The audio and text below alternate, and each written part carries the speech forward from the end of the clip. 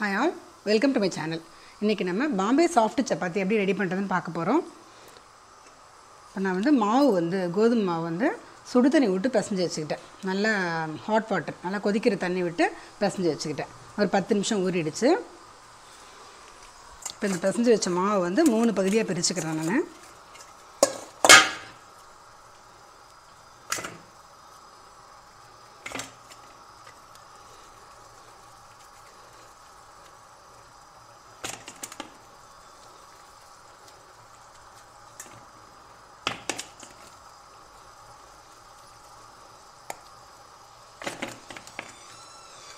ஆக்சுவலாக இந்த சப்பாத்தி வந்து நாங்கள் குஜராத்தில் ஹஸ்பண்ட் நாங்கள் ஒர்க் பண்ணிட்டு இருக்கும்போது ஒரு ஃப்ரெண்டு வீட்டுக்கு சாப்பிட போயிருந்தோம். அவங்க ரொம்ப நல்லா இருந்துச்சு. சப்பாத்தி ரொம்ப சாஃப்டாக இருந்தது. அவங்கள்ட்ட கேட்டு தெரிஞ்சுக்கிட்டேன் இந்த மெத்தட் எப்படி பண்ணுறதுன்னு இப்போ ட்ரை கோதுமை மாவு கொஞ்சம் போட்டுட்டு நார்மல் சப்பாத்தி பண்ணுற மாதிரி தான் இந்த ஒரு பகுதி பிரித்து வச்சோம் இல்லைங்களா? இந்த மாவை எடுத்துக்கணும்.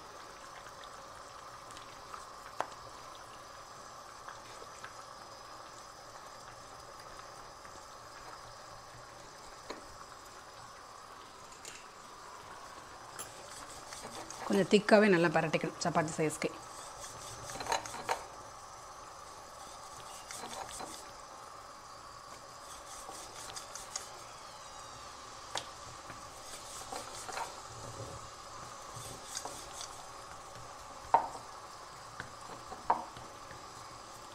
இந்த மாதிரி நல்லா பரட்டின பிறகு இப்போ ஒன்று மட்டும் உங்களுக்கு செஞ்சு காமிக்கிறேன். ஜஸ்ட் இந்த மாதிரி நல்லா விரல் வச்சு நல்லா உள்ள குழி மாதிரி பண்ணிக்கணும்.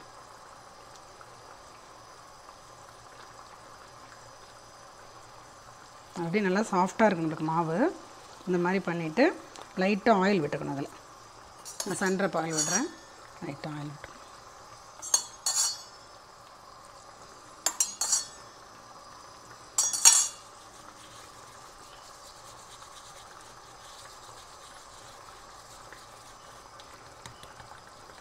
இந்த மாதிரி ஆயில் விட்ட பிறகு இதை ரோல் பண்ணிக்கோங்க அப்படி.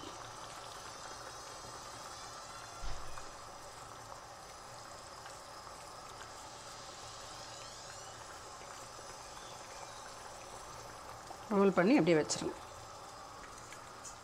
இந்த மாதிரி மித்த ரெண்டு பகுதி செஞ்சுருக்கோம் இல்லைங்களா? இதையும் இது மாதிரி ரெடி பண்ணிக்கிட்டு சப்பாத்தி போட வேண்டியது தான் இப்போ சப்பாத்திக்கு நம்ம வந்து உருட்ட ஆரம்பிச்சிடலாம். இப்போ இந்த மாதிரி பிசைஞ்சு வச்ச மாவு வந்து நீங்கள் நார்மல் சைஸ்க்கு எடுத்து உங்களுக்கு எந்த சைஸ்க்கு தேவையோ அந்த அளவுக்கு எடுத்துக்கணும்.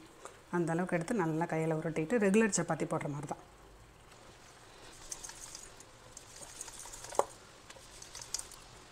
இப்போ தோசைகள் வச்சுட்டோம். ஒரு ஸ்பூன் எண்ணெய் விட்டு வச்சோம் கொஞ்சமாக கால் ஸ்பூன்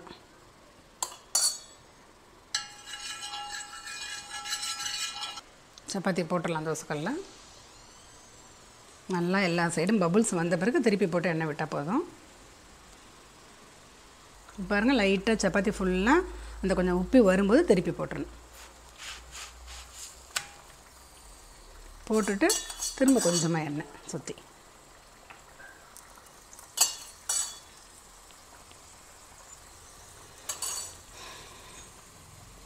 இந்த சப்பாத்தி வந்து சிக்கன் கிரேவி கூட ரொம்ப டேஸ்ட்டாக இருக்கும். இப்போ அது ரெடி ஆகிட்டுருக்கு டின்னருக்கு